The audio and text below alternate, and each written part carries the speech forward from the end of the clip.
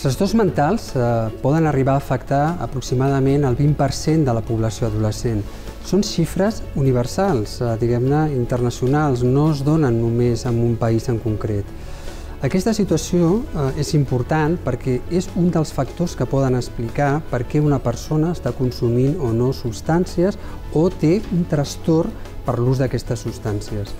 Per què passa aquesta situació? Doncs perquè la situació dels trastorns mentals fan el cervell, d'alguna manera, més predisposat a que aquell consum de drogues esporàdic que pot haver-hi acabi amb una addicció. Sabem que hi ha trastorns, com per exemple el trastorn per dèficit d'atenció amb hiperactivitat o fins i tot l'esquizofrènia, que hi ha un consum molt més elevat de substàncies que la població general. Penseu que prop del 40% de persones que tenen TDAH al llarg de la vida tindran un problema relacionat amb l'ús de substàncies. És molt important tenir també la idea clara que l'inici del consum sempre s'hauria de retardar el màxim possible. Per què? Perquè el cervell, com deia abans, eh, jove, té més risc de tenir una addicció. Sabem que de cada quatre persones que consumeixin abans dels 18 anys, una tindrà una addicció. En canvi, si són persones adultes de més de, de 21 anys, veiem que això passa de cada 25 persones només amb una persona.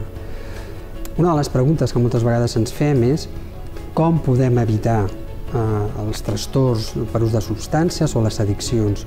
Un dels factors claus és la prevenció. Moltes vegades pensem que això s'ha de començar a l'adolescència, als 14, als 15, als 16, a parlar dels efectes que poden tenir o no les drogues.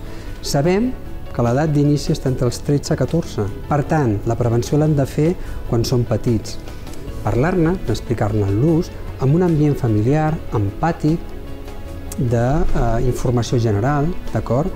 I el que és molt important, si nosaltres fem una bona formació amb valors que impliquin una millor resolució dels nostres conflictes interpersonals, individuals, que puguem parlar-hi de les nostres problemàtiques, estarem fent prevenció d'aquest consum de substàncies.